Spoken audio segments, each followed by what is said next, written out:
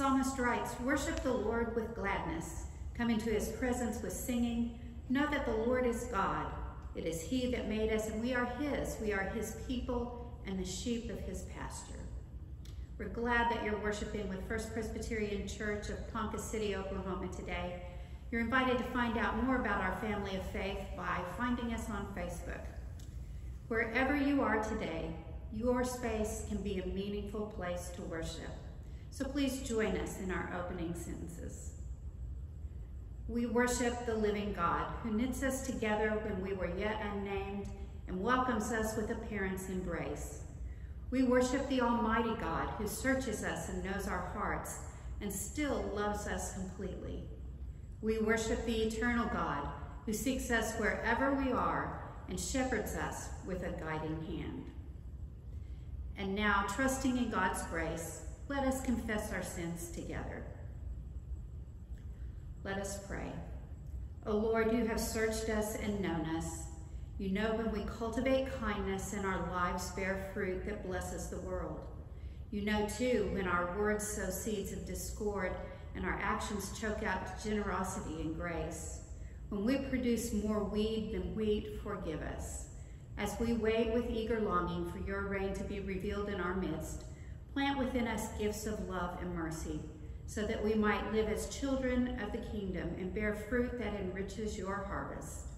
Amen. And now stand firm in your faith, covered by the saving grace of God, and ready to proclaim the gospel of peace. In the name of Jesus Christ, we are forgiven. Thanks be to God. Amen.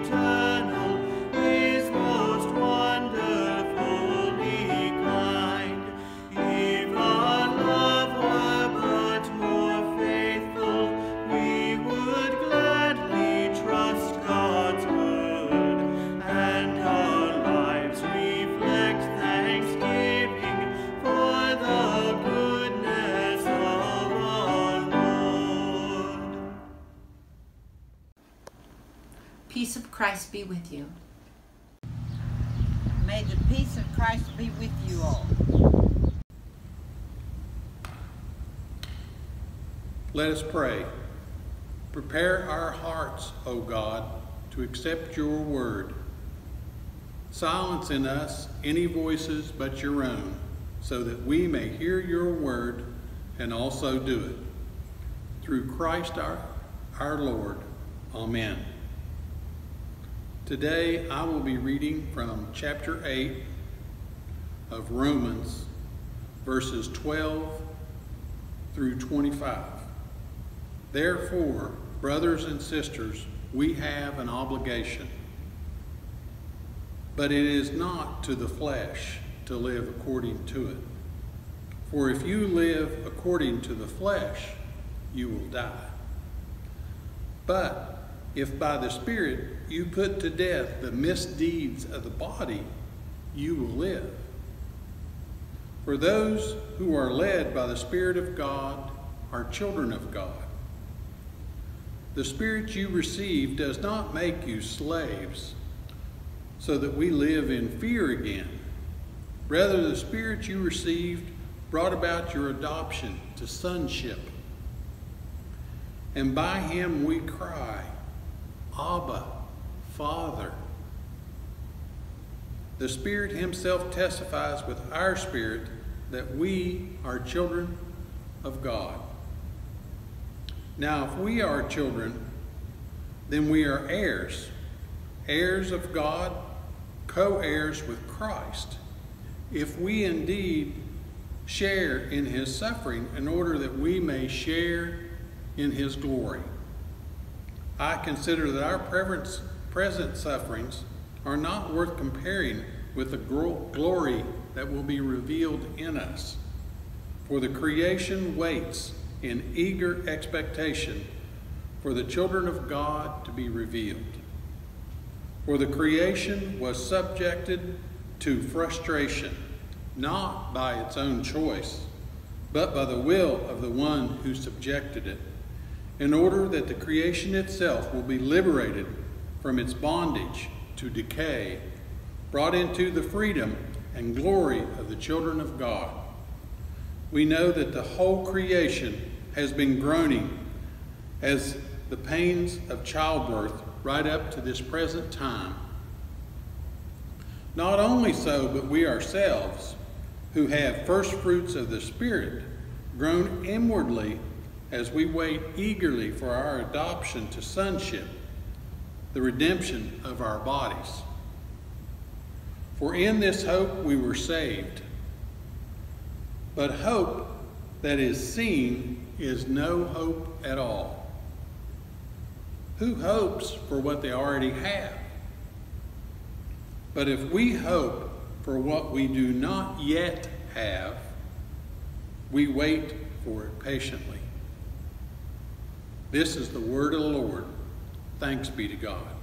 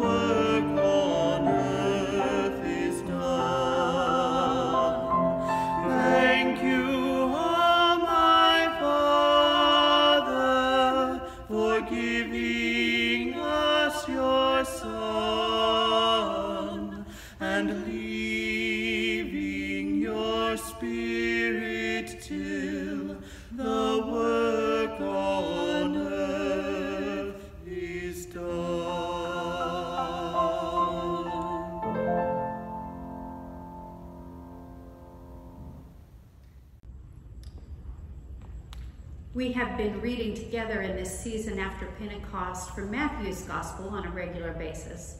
Today we're going to take a look at the Old Testament passage for the lectionary today. We're reading from Genesis 28, beginning with verse 10. Jacob left Beersheba and went toward Haran. He came to a certain place and stayed there for the night because the sun had set. Taking one of the stones of the place, he put it under his head and lay down in that place. And he dreamed that there was a ladder set up on the earth, the top of it reaching to heaven, and the angels of God were ascending and descending on it. And the Lord stood beside him and said, I am the Lord, the God of Abraham your father, and the God of Isaac. The land on which you lie I will give to you and to your offspring, and your offspring shall be like the dust of the earth. And you shall spread abroad to the west and to the east and to the north and to the south. And all the families of the earth shall be blessed in you and your offspring. Know that I am with you and will keep you wherever you go and will bring you back to this land, for I will not leave you until I have done what I have promised you. Then Jacob woke from his sleep and said, Surely the Lord is in this place, and I did not know it. And he was afraid and said, How awesome is this place! This is none other than the house of God, and this is the gate of heaven. So Jacob rose early in the morning, and he took the stone he had put under his head, and set it up for a pillar, and poured oil on the top of it. He called that place Bethel. The word of the Lord. Will you pray with me? May the words of my mouth and the meditations of our hearts be acceptable in your sight, O God, our rock and our redeemer. Amen. Perhaps you've heard of the Iona community of Scotland. The Iona community made a form of contemplative worship very popular a few years back and produced some beautiful music as well. It also helped to popularize the idea of thin places.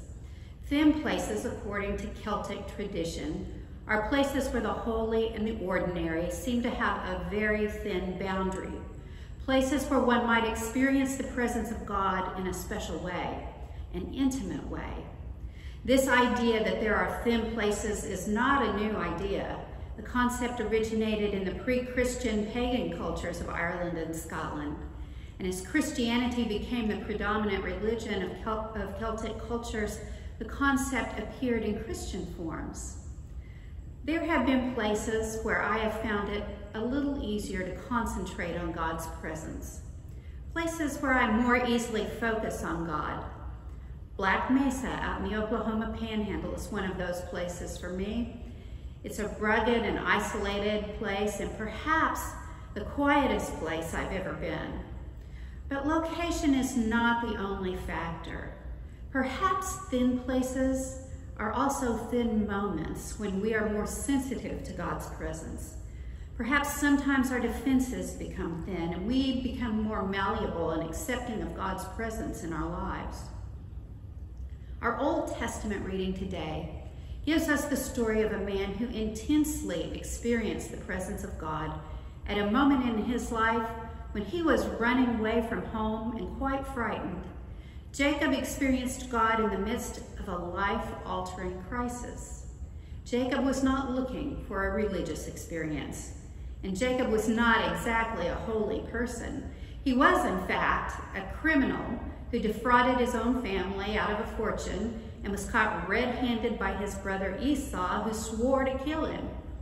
Jacob was a liar, and he was a cheat. He purchased his brother's birthright with a pot of lentil stew and had tricked his aging, nearly blind father into the family blessing by disguising himself with the help of his mother to look and feel like his brother, who should have received the blessing, which also conveyed control of the family wealth. Jacob was not particularly a nice guy at that point in his life. Jacob came from a worldview that was built on the idea that God was high up on the top of a mountain somewhere, or perhaps even somewhere higher up in heaven. God was distant, and Jacob thought that he traveled alone. He held the view that he and God were in completely separate worlds. So now he was a man on the run who found shelter beside a rock, fell asleep, and had a dream. Dreams are an important theme in our Old Testament. They often bring messages from God. And this dream brought Jacob into the presence of the Holy. Our Hebrew text says in this dream, Jacob saw a set of stone steps. Now you've probably always heard the word ladder, Jacob's ladder used here, because that's the word King James translators used way back in 1611.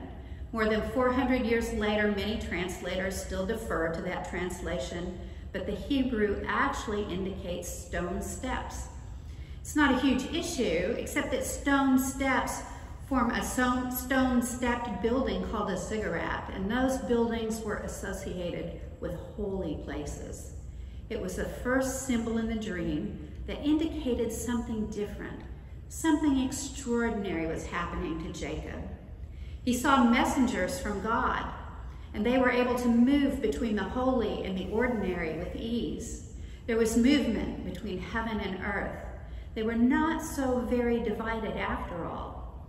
Then Jacob saw the very presence of God in that thin place and received a message directly from the creator of the universe. And here's the amazing part of this for all for me. Jacob's God the God of his father Isaac and his grandfather Abraham was not concerned about what Jacob had done. There was no reprimand in this message. There was no threat of punishment. There was no shaming. Instead, what Jacob received from God in that lonely moment of crisis was a promise and a challenge. The very land where he slept would become a homeland for his descendants his descendants would be an unnumbered multitude, and through them God would bless every nation. Jacob was on the receiving end of a covenantal statement. Jacob, a liar and a thief, could have never stolen the treasure God gave to him that night, the gift of unfettered, lavish grace and love from God himself. He was given the gift of purpose, and the challenge of becoming the things God knew he could become. Jacob may have escaped his brother and his father, but he could not escape the realm of God's love and compassion. God caught up with him. This dream is Jacob's first up close and personal encounter with the God of his fathers and with the Holy. It's one of the many turning points in his life. God continues to show up at critical moments in Jacob's story. He awakes from this dream awestruck. And that is what God does for us. Often God comes to us when we least expect to encounter the holy. God comes to us even when we are less than we can be, and comes to us without condemnation, but rather to reveal divine love to us and to help us to change. God's there to smooth out our rough edges and change our minds and hearts and bring renewed hope and promise to us. That's why God sends Jesus, the healer, the redeemer of our souls. Jacob wakes up and exclaims, Surely the Lord is in this place, and I did not know it. He built an altar there, and he called the place in Hebrew Beit El, or Bethel, the house of God. Our job right now is to learn to see the holiness in all of our moments, in the place where we are right now, and to proclaim with our forebear in the faith, surely God is in this place. Surely God is in this moment. Our job is to open our eyes to the holy that surrounds us in the beauty of nature, in our darkest moments of sorrow, in our greatest challenges, and in our joys. Our job is to find holiness in one another. We need to recognize the holiness in each other now more than ever. Jacob's story assures us that God is not distant, but is transcendent and present with us through all of creation. As Christians, we believe that centuries after Jacob's encounter with the, with the Holy, a child was born and was named Emmanuel, God with us. Jesus experienced all of life just as we do. Through him, God knows us and we know God. and we are never alone in the loneliness of the night. So may you know the presence of the holy. May you find awe and wonder in your days. May you engage in the purpose God gives you, and may you deeply know God's love for you each and every day. Amen.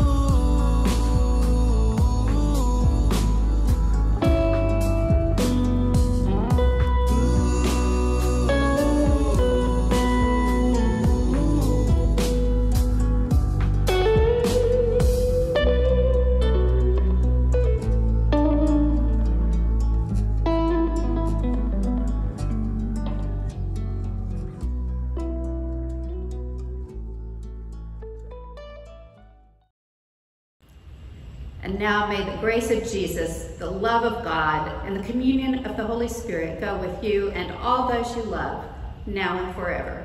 Amen.